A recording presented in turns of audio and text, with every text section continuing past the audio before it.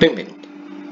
In questo video vedremo come calcolare seno e coseno per alcuni angoli non speciali. Allora, noi sappiamo che ci sono degli angoli particolari, 0, pi greco sesti, greco quarti, greco terzi, greco mezzi, greco e 2 pi greco, oppure 0, 30, 45, 60, 90, 180 e 360 gradi. In questi casi il calcolo del seno e del coseno è piuttosto facile e noi già sappiamo che seno di 0 vale 0, coseno di 0 vale 1, eccetera, sfruttando alcune proprietà geometriche dei triangoli, eh, con, triangoli rettangoli con un angolo di 30, un angolo di 60, un angolo di 45 gradi, oppure altre proprietà geometriche immediate della circonferenza goniometrica. Ora, esiste però anche la possibilità di calcolare in modo analitico, senza usare la calcolatrice e senza usare eh, formule particolarmente complesse, anche il seno e il coseno per alcuni angoli al di fuori di questi. Come vedremo il metodo non può essere facilmente applicato a tutti gli angoli, ma ad alcuni sì. Per prima cosa ricordiamo le formule di addizione e di sottrazione per il seno e per il coseno. Seno di alfa più beta è uguale a seno di alfa per coseno di beta più seno di beta per coseno di alfa. Seno di alfa meno beta è uguale a seno di alfa coseno di beta meno seno di beta coseno di alfa. Coseno di alfa più beta è uguale a coseno di alfa per coseno di beta meno seno di alfa per seno di beta e coseno di alfa meno beta uguale a coseno di alfa coseno di beta più seno di alfa seno di beta. E in particolare di queste eh, formule ricordiamo il eh, caso appunto particolare delle formule di duplicazione, quando cioè alfa e beta sono uguali allora le formule di addizione per il seno e per il coseno diventano rispettivamente queste, ovvero seno di 2α è uguale a 2 volte il seno di alfa per il coseno di alfa e il coseno di 2α diventa il coseno al quadrato di alfa meno il seno al quadrato di alfa. Queste in particolare ci risulteranno molto utili per alcuni calcoli e ci permetteranno di calcolare anche seno e coseno per alcuni angoli fuori da quelli speciali di cui abbiamo già eh, abbiamo ricordato all'inizio. Vediamo un esempio. Pi greco dodicesimi, ovvero 15 gradi. Di per sé non esiste alcuna proprietà geometrica evidente per i triangoli di eh, rettangoli con un angolo di 15 gradi. Eppure di, anche di questo angolo noi riusciamo a calcolare seno e coseno in modo esatto. Vediamo come. Allora, per prima cosa notiamo che greco dodicesimi altro non è che greco sesti diviso 2, ovvero greco sesti è due volte per greco dodicesimi, semplicemente invertendo l'operazione. E questo vuol dire che il coseno di greco sesti può essere scritto come il coseno di due volte greco dodicesimi ma a questo punto, fin qui, stiamo semplicemente facendo manipolazione algebrica. Ma a questo punto possiamo usare la formula di duplicazione del coseno. Coseno di greco sesti è uguale al coseno quadro di greco dodicesimi meno il seno quadro di greco dodicesimi. Possiamo proseguire e scrivere il seno quadro usando la relazione trigonometrica fondamentale, quindi come 1 meno coseno quadro di pi greco dodicesimi. E possiamo andare ancora avanti, ovvero eliminando le parentesi e cambiando il segno. A questo punto abbiamo coseno quadro meno 1 più coseno quadro, otteniamo in definitiva il coseno di pi greco sesti è uguale a due volte il coseno quadro di pi greco dodicesimi meno 1. Ora, volendo potremmo proseguire direttamente con questa equazione perché il coseno di pi greco sesti è qualcosa di noto, ma ci conviene cambiare variabile, introdurre una variabile t coseno di pi greco dodicesimi. In questo modo la nostra equazione risulta coseno di pi greco sesti uguale 2t quadro meno 1, un'equazione algebrica. Un'equazione algebrica di secondo grado che può essere immediatamente risolta. Infatti, come vediamo, eh, questa è un'equazione in cui non è presente il termine lineare in t e pertanto possiamo tranquillamente scrivere che t è uguale a più o meno la radice di 1 meno coseno di greco sesti diviso 2. Attenzione però, scartiamo la soluzione negativa. Perché? Perché l'angolo di cui stiamo cercando, greco dodicesimi, è 15 gradi. Appartiene quindi al primo quadrante. Noi sappiamo che nel primo quadrante seno e coseno sono entrambi positivi, quindi la soluzione negativa in questo caso non si applica e dobbiamo scartarla. A questo punto siamo arrivati a scrivere che coseno di pi greco dodicesimi è uguale alla radice di 1 più coseno di pi greco sesti mezzi, ma in realtà abbiamo tutto perché il coseno di pi greco sesti già lo conosciamo. E quindi, prima razionalizzando, andiamo a riscrivere il coseno di pi greco dodicesimi come un mezzo per la radice di 2 che moltiplica 1 più il coseno di pi greco sesti e successivamente esplicitando il coseno di pi greco sesti andiamo a scrivere coseno di pi greco dodicesimi uguale a un mezzo per la radice di 2 più radice di 3. Infatti ricordo che il coseno di pi greco sesti, ovvero coseno di 30 gradi, è radice di 3 mezzi.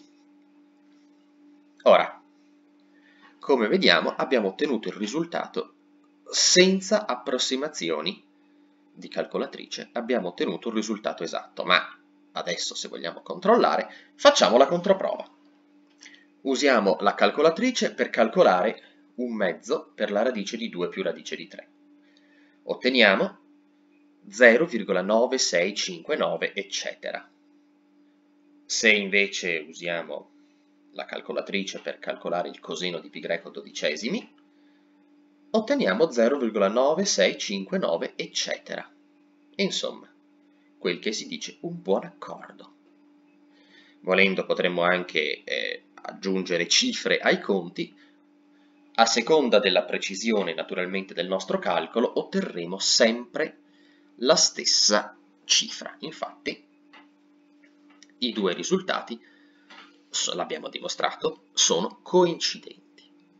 Ora, questo per quanto riguarda il coseno.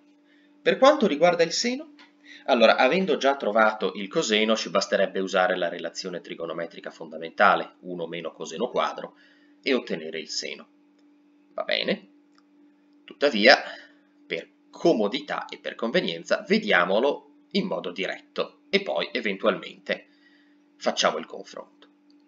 Allora, Seno di pi greco sesti, formula di duplicazione del seno, è uguale a due volte il seno di pi greco dodicesimi per il coseno di pi greco dodicesimi, usando lo stesso argomento che abbiamo usato per il coseno.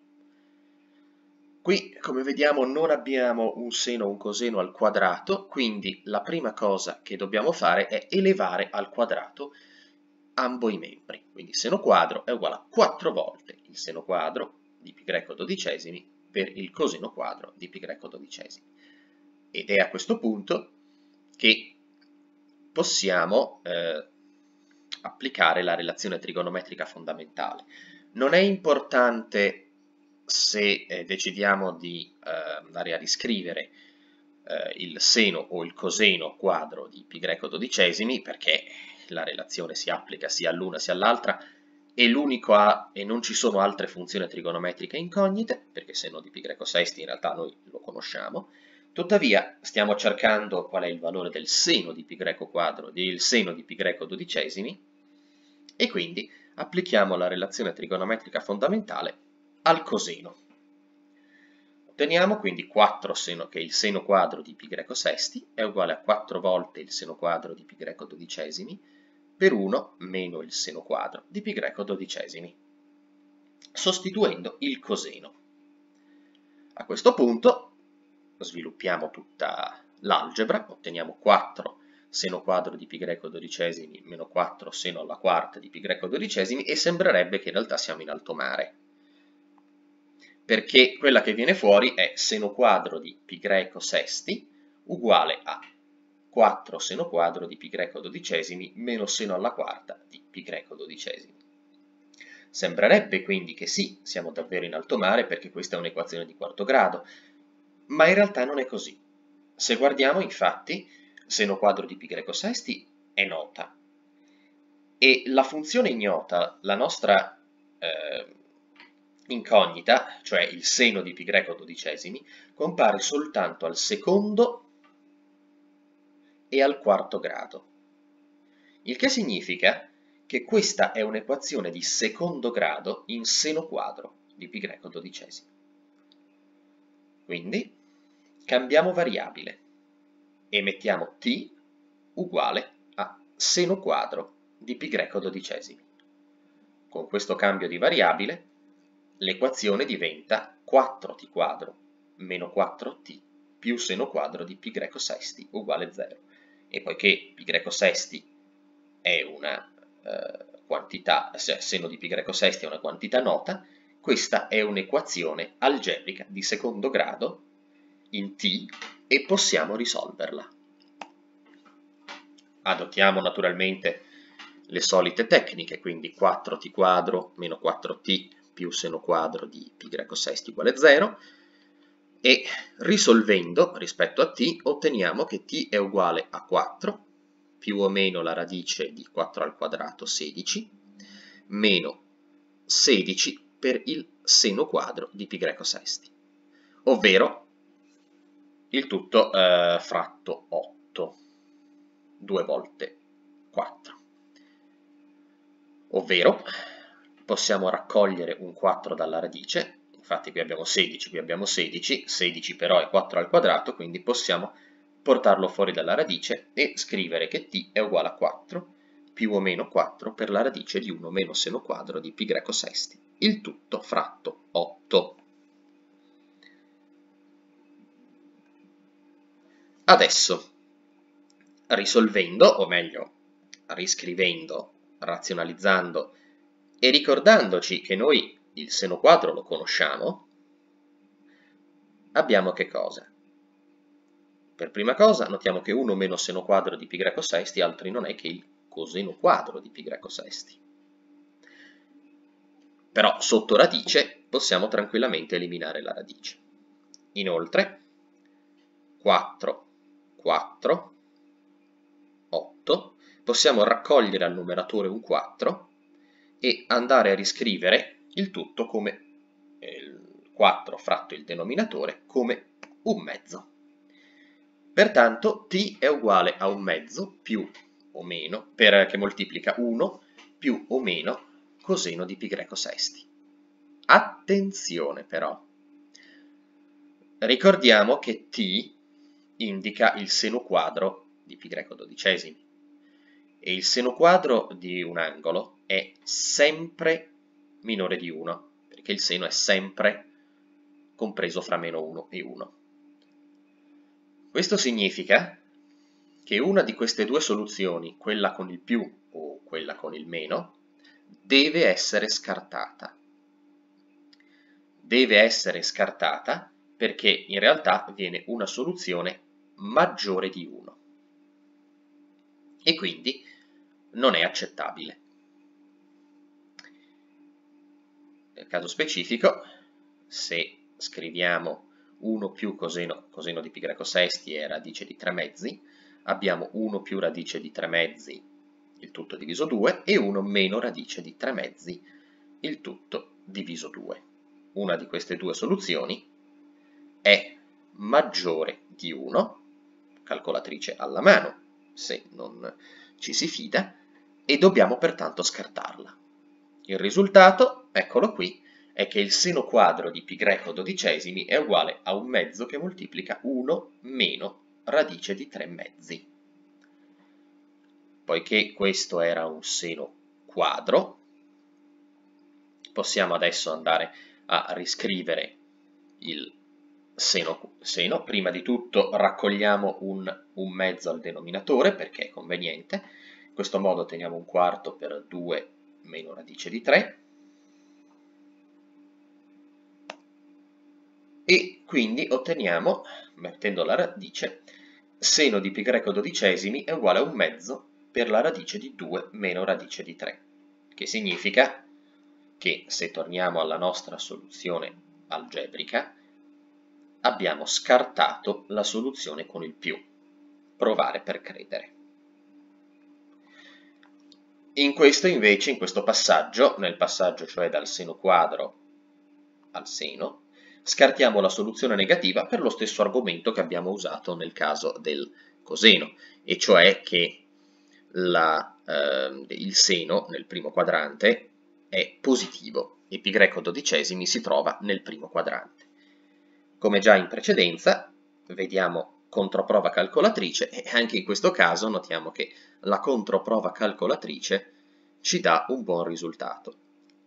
Abbiamo infatti che se calcoliamo un mezzo per la radice di 2 meno radice di 3 otteniamo 0,2588 eccetera, mentre il seno di pi greco dodicesimi, calcolato direttamente sulla calcolatrice, è uguale a 0,2588 eccetera eccetera e le cifre decimali, provare per credere, sono le stesse a qualunque approssimazione. Anche in questo caso quel che si dice un buon accordo.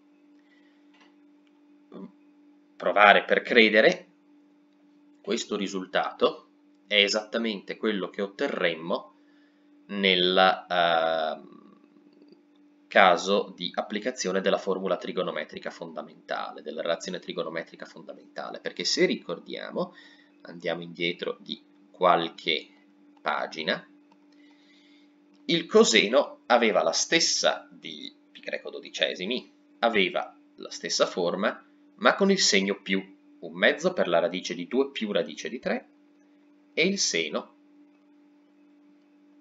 un mezzo per la radice di 2 meno radice di 3.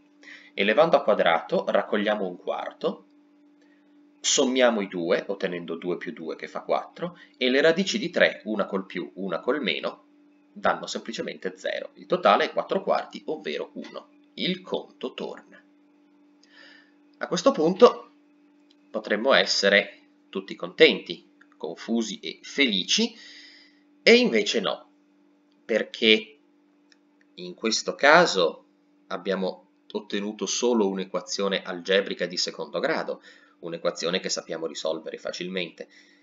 Ma in altri casi l'equazione algebrica che viene fuori è molto più fastidiosa. Prendiamo l'esempio di pi greco diciottesimi, ovvero 10 gradi. 10 gradi non possiamo usare le formule di duplicazione perché il doppio di 10 è 20, 20 non è un angolo particolare.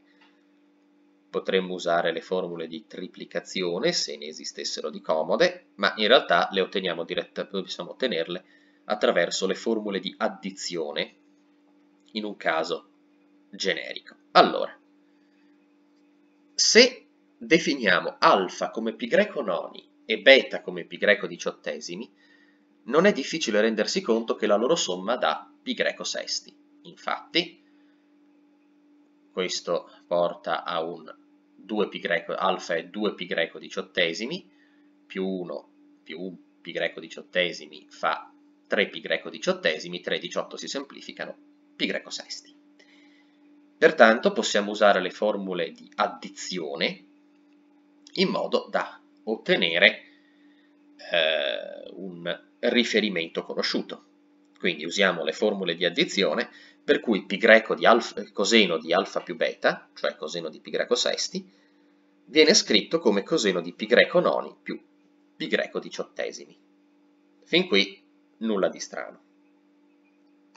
Il passaggio successivo è usare la formula di addizione per il coseno per scrivere coseno di greco sesti come coseno di alfa per coseno di beta, quindi coseno di greco noni per coseno di greco diciottesimi, meno seno di alfa per seno di beta, cioè seno di greco noni per seno di greco diciottesimi. attenzione, perché greco noni è proprio il doppio di greco diciottesimi, quindi possiamo usare ancora le formule di duplicazione per scrivere coseno e seno di greco noni rispettivamente come il coseno quadro di greco diciottesimi meno il seno quadro di greco diciottesimi e il seno di greco noni come due volte il seno di greco diciottesimi per il coseno di greco diciottesimi. E a questo punto andiamo a sostituire questi due risultati all'interno della nostra equazione, al posto del coseno e del seno di greco noni otteniamo che il coseno di pi greco sesti è uguale al coseno quadro di pi greco diciottesimi meno il seno quadro di pi greco diciottesimi, il tutto moltiplicato per il coseno di pi greco diciottesimi, meno due volte il seno di pi greco diciottesimi per il coseno di pi greco diciottesimi, il tutto moltiplicato per il seno di pi greco diciottesimi. Adesso possiamo semplificare un po' questo arzigogolo algebrico utilizzando ancora una volta la relazione trigonometrica fondamentale. Perché? Allora, qui possiamo tranquillamente sostituire seno quadro di pi greco diciottesimi con 1 meno il coseno quadro, e infatti eccolo qua. Nel secondo membro, invece, noi notiamo che qui non ci sono somme, c'è già un prodotto, ed è due volte seno per coseno per seno dello stesso angolo. Quindi questo è meno due volte il seno quadro per il coseno. E seno quadro possiamo riscriverlo come 1 meno il coseno quadro. Ecco qua. Il tutto moltiplicato ancora per il coseno nell'uno e nell'altro caso. Ancora algebra, perché qui andiamo semplicemente a effettuare il nostro cambio di variabile, per semplificarci un po' le cose, con t quadro uguale coseno di pi greco diciottesimi, t uguale coseno di pi greco diciottesimi, non t quadro, e otteniamo che il coseno di pi greco sesti è uguale a t quadro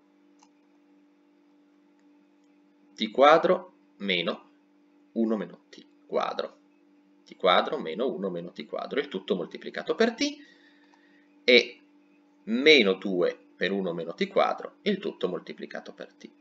Infatti, ecco qua, t quadro meno 1 meno t quadro per t, meno 2 per 1 meno t quadro, il tutto moltiplicato ancora per t. A questo punto però, eh, già qui si vede che qualcosa non va, e infatti andando a riscrivere, a sviluppare tutta l'algebra, otteniamo che la nostra equazione risulta 4t al cubo meno 3t meno coseno di pi greco sesti uguale 0. E questa è un'equazione cubica, un'equazione cubica tra l'altro non immediatamente risolubile e non riducibile a un'equazione di grado inferiore. È un'equazione possibile? Ma certo, esistono relazioni per risolvere equazioni cubiche di grado 3 e anche di grado 4, equazioni quartiche. Il problema è che sono relazioni sempre più complicate. Il problema numero 2 sorge quando cerchiamo eh, soluzioni di grado ancora superiore. Quindi equazioni algebriche di quinto, sesto, settimo o decimo grado e possono emergere via via che andiamo a cercare angoli sempre più specifici, perché non ci sono solo 15 o 10 gradi. Se noi volessimo cercare un angolo di 13 gradi, diventerebbe a quel punto molto difficile riuscire a incastrarlo con uno degli angoli che conosciamo, quindi 45, 30, 60, eccetera. E a quel punto diventa molto difficile usare le formule di addizione o nel caso addirittura più specifico di duplicazione per eh, effettuare il calcolo. E a quel punto non c'è più alcuna possibilità di fatto di ottenere una soluzione esatta. A quel punto entrano in gioco soltanto delle tecniche numeriche più evolute che possono essere implementate, e infatti sono quelle che utilizzano le calcolatrici, che permettono un più rapido calcolo della funzione, ma delle quali, almeno a questo livello, non ci interessa e quindi eh, eviteremo di introdurle. D'altro canto, possiamo avere almeno la certezza che effettivamente questa equazione sia almeno formalmente corretta. Come? Beh, proviamo a calcolare pi greco diciottesimi usando la calcolatrice e a sostituire all'interno dell'equazione stessa. Cosa otteniamo? Allora, prima di tutto t, ovvero pi greco diciottesimi, il coseno di pi greco diciottesimi, è 0,9848 eccetera usando la calcolatrice.